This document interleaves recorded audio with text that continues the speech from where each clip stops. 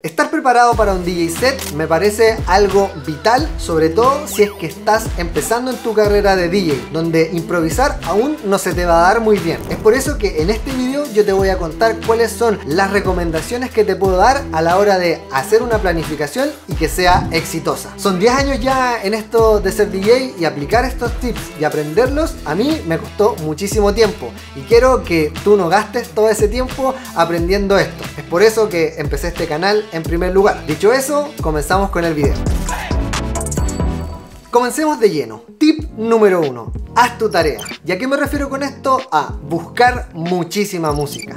Buscar donde tú puedas, donde tú quieras, en los lugares donde has tratado otras veces y también obviamente probar nuevos lugares. Tener más música y escuchar más música siempre será un parte de una muy buena preparación. Escuchar lo que está sonando, escuchar otro tipo de música que no es la que usualmente suena en el club donde tocas, todo eso va a ser un aporte. Porque recordemos que parte de ser un buen DJ es diferenciarte. ¿Y cómo sería mejor diferenciarnos que con algo de buena música o selección musical única? Además, en este tip quisiera incluir conocer al público, dado que buscar música para un público específico también es muy importante. Si es que por primera vez te vas a presentar en un lugar, consulta a quienes ya han ido o a otros colegas DJs que están yendo de manera más habitual a ese lugar. Con eso tendrás una información de primera fuente y te ayudará a cometer menos errores, que sabemos que una oportunidad es una única bala que deberías aprovechar a como de lugar. Y quiero recalcar la importancia de no siempre caer en lo que toca todo el mundo o en los top 100 o top 50 de Spotify. Sabemos que ese tipo de selección musical lo puede tocar cualquier DJ, pero estas gemas que se pueden encontrar en SoundCloud o en ciertos record pools o incluso en YouTube te podrán ayudar a hacer que tu selección musical sea inolvidable. Número 2, organiza y descarga tus tracks. Una vez que los encontraste, pásalos a tu computadora y desde ahí comienza la verdadera selección. A todos nos ha pasado que descargamos cargamos muchas canciones y verdaderamente no las usamos todas. Por eso el proceso después de la descarga es muy importante. Cuando estés preparando tu DJ set, date el tiempo de darle una segunda o tercera escuchada a cada uno de esos tracks para que puedas elegir la crema de la crema para ser usada en tus DJ sets. Obviamente también este proceso va a llevar consigo llevar estos tracks a tu DJ software para que te permita analizar el BPM, que es muy útil obviamente, y también el key de la canción para poder ir entrando en la mezcla armónica. Tengo un video de mezcla armónica acá, pero si quisieras otro, coméntalo aquí abajo también. Y que cada uno de estos tracks, a través de este proceso de análisis, esté listo, preparado y ultra testeado para ser usado en tu DJ set. En lo personal trato de nunca ocupar un track que descargué en el mismo momento. Sé que en eventos particulares es muy común, pero sí pueden sucederte chascarros, como que por ejemplo tu página de confianza los haya descargado de mala forma y que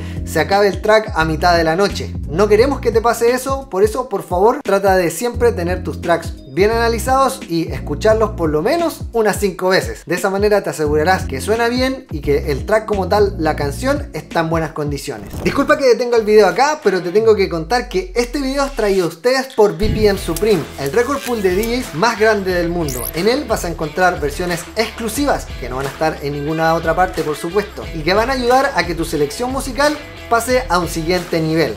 Encontrar los hits del reggaetón, podrás encontrar esos remixes que no sabes dónde están. Bueno, están ahí en BPM Supreme. Además, usando el código de descuento DJ Natch vas a poder tener, como te dije, un muy buen descuento y además vas a estar ayudando al contenido que hacemos acá en el DJ Natch TV. Muchas gracias a la familia de BPM Supreme por ser parte de este canal y seguimos con el video. El siguiente tip es practicarlo. La preparación obviamente debe llevar periodos de práctica, sobre todo si estás incorporando en tu DJ set nuevos estilos musicales. Algunos de esos estilos musicales van a requerir que sepas dónde se mezcla la entrada, dónde debería salir y en qué momento es el momento más propicio para realizar la pasada de una canción a la otra. Por ejemplo, en la salsa a veces no quieres cortar ciertas partes porque la gente que baila salsa requiere esas partes para poder desarrollar bien el baile. Entonces es muy importante que vayas conociendo el estilo y practiques las pasadas. No quiere decir que practiques una a una todo lo que vas a hacer en el DJ set, pero sí tener una muy buena noción de dónde debería ser mezclada esa canción con la canción que va a venir en el futuro. Prepárate para lo inesperado. Las cosas pueden salir mal. Puede que tu plan tengas en mente no salga de la manera en que esperabas. Es por eso que tener, por ejemplo, una carpeta con estos bangers, así le dicen del otro lado del continente, puede ayudarte a levantar una situación donde la pista no prende. Si estamos en un momento donde la gente no quiere bailar simplemente porque pareciera ser que tu selección musical no es la adecuada, tener una carpeta preparada con estas canciones que llenan la pista es muy importante, dado que en cualquier momento puedes apretar ese botón de pánico y empezar a disparar hits de esa carpeta. Y obviamente que la preparación tiene que llevar algo de margen de error, por mucho que nos preparemos y hagamos un playlist ordenado de lo que deberíamos tocar, siempre debes estar atento a las condiciones de la pista de baile. No siempre todo sale como queremos, como ya dije. Oye, y si te está sirviendo algo del contenido que hacemos acá en el DJ Natch TV, recuerda que me ayuda mucho si es que te suscribes y obviamente le dejas un buen like a este video y además comenta aquí abajo